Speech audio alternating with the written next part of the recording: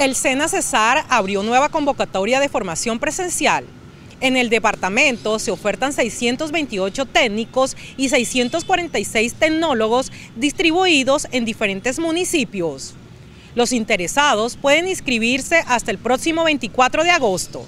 El SENA Cesar abrió nueva convocatoria de formación presencial titulada del 2022. En el departamento se ofertan 628 técnicos y 646 tecnólogos distribuidos en los municipios de Valledupar, Aguachica, San Alberto, Curumaní, Las Aguas de Ibirico, Bosconia, Becerril, Chimichagua y Chiriguaná. La entidad abre estas inscripciones para aquellas personas que quieran formarse en niveles educativos como técnico, tecnólogo, operador auxiliar, profundización técnica y especialización tecnológica de manera presencial. Hasta el 24 de agosto, las inscripciones de esta nueva convocatoria de formación presencial titulada estarán disponibles para los colombianos, extranjeros con permisos de residencia y estudio en el país además de personas en condición de discapacidad, interesados en formarse en diferentes programas académicos. Esta convocatoria de formación tiene cupos en las 32 regionales del país en jornadas diurnas, nocturnas, madrugada y mixta,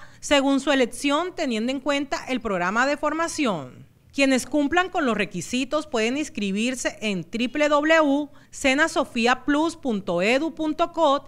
El ICBC es una institución que marca la diferencia Prestamos servicios como cardiología clínica, cardiología intervencionista, programa de cirugía cardiovascular, hemodinamia, electrofisiología e intervencionismo neurocardiovascular, vascular periférico, métodos diagnósticos destacando cardiología no invasiva.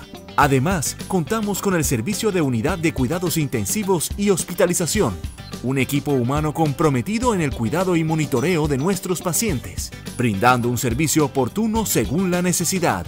Nuestro lema es Por el corazón del valle. Le ponemos el corazón para el bienestar de nuestros pacientes. Somos el Instituto Cardiovascular del Cesar.